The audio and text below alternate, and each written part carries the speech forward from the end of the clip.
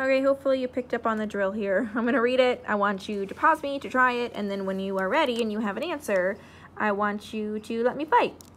I wanna look at 48. It says, Pamela completed 4 24ths of her project in an hour.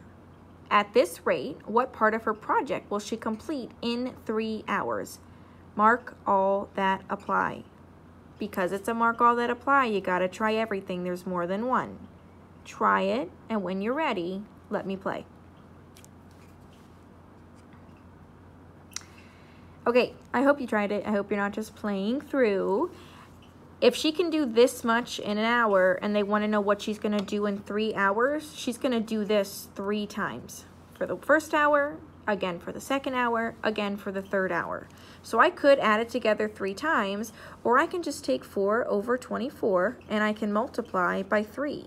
But 3 is a fraction, it's just 3 over 1. Top times top, bottom times bottom. 4 times 3 is 12. 21, or sorry, 24 times 1 is 24. So I need anything that's equivalent to this because it's a mark all that apply.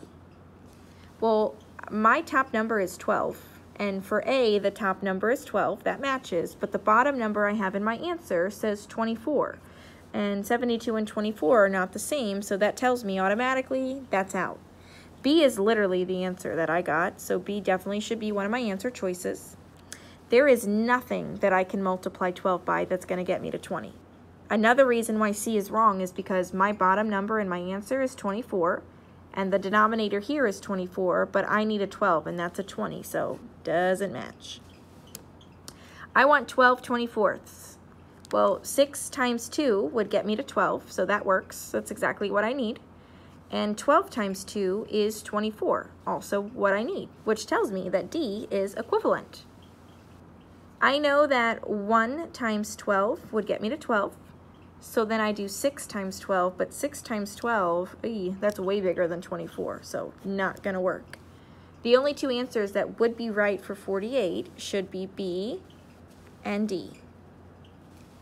Make sure you mark them on your paper.